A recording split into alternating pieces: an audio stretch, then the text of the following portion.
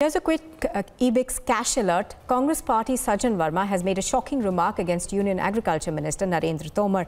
Verma has drawn an outrageous comparison between Tomar and the former Union Minister Harsimrat Badal.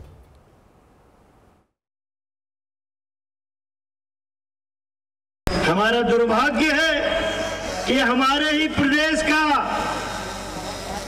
Narendra Singh Tomar देश का कृषि मंत्री है मंत्रिमंडल से इस्तीफा दे दिया अरे तू मर्द है कि वो हरसिमरत मर्द है आकलन कर लेना दोस्त Well, that outrageous comment coming in from the Congress party, Sajjan Verma.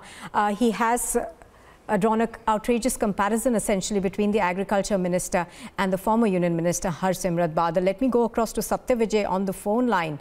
Uh, Satyavijay, give us more details on what he spoke.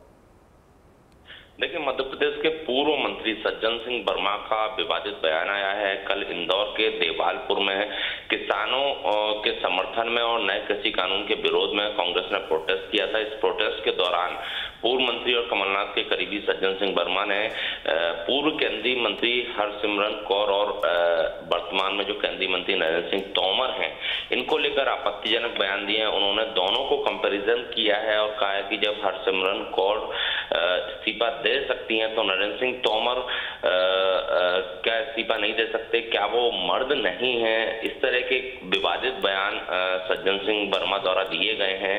इसके अलावा भी उन्होंने कहीं ना कहीं कंगना रनौत पर भी कमेंट किया है। उनका कहना है कि कंगना अगर एक बैठक कर लेती हैं केंद्र सरकार से तो उन्हें जेट प्लस सिक्योरिटी मिल जाती है। लेकिन किसानों की इतनी दौर की वार्ता होने के बाद भी किसी तरह का सोल्यूशन नहीं निकला है।